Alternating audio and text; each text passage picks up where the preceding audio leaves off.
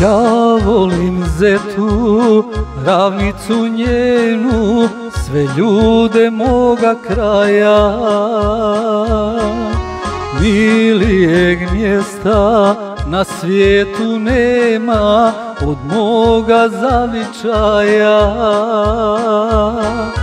Najljepša si kad te sunce jutrom obasjava, volim, tebi pjevam, zeto moja ravna.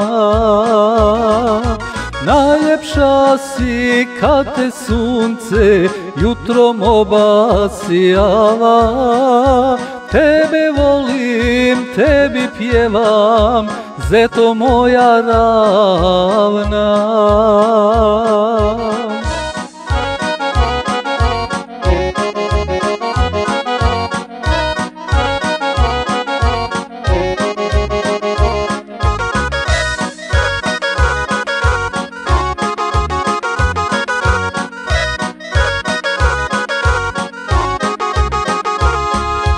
Tu rastu cure i kršni momci, sve mladi crnogorci. Tu cvjeta cvijeće, najlepši boja, tamo je zeta moja. Najlepša si kad te sunce jutrom obasjava,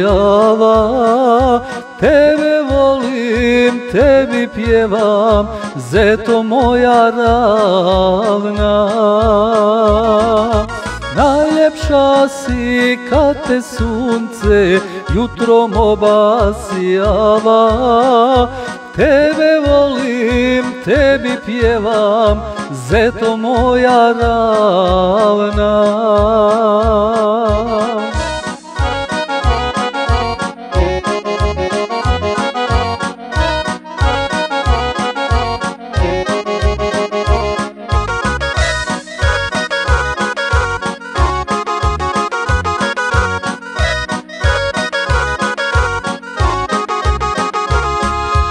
Polja su tvoja uvijek zelena, a njive tvoje rodne.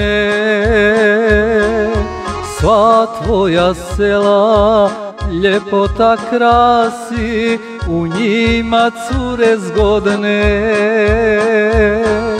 Najljepša si kad te sunce jutrom obasjava, volim, tebi pjevam, zeto moja ravna. Najljepša si kad te sunce jutrom obasjava, Tebe volim, tebi pjevam, zeto moja ravna.